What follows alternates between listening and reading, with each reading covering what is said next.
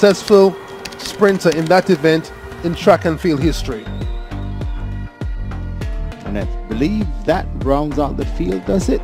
On your mark. Yes. Uh, so four will go in this one. So no Johnny Smith, no Yannick Dale, no Tina Clayton.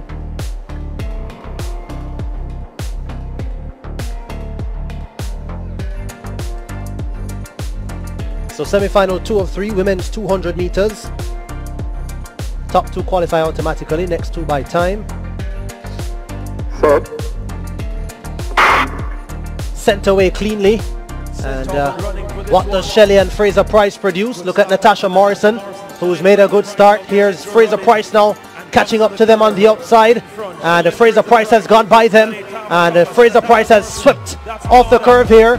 Uh, Tava Thomas tries to come back at her. It's uh, Fraser-Pryce and uh, Lanae-Tava Thomas. Fraser-Pryce looks easy.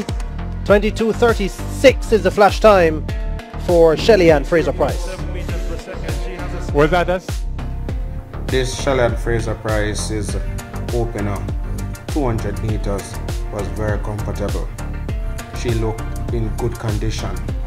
I know we all had a scare a few weeks ago when she, they announced that she had a knee injury, but thankful to God, she looked to overcome that and is ready to run fast.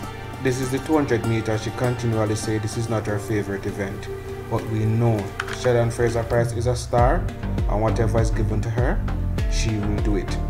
And Budapest is going to be interesting with Shericka Jackson, Shelly-Ann Fraser-Pryce, and the rest of the world. Keep tuned to Sports Circle 345 for your news, views, and reviews.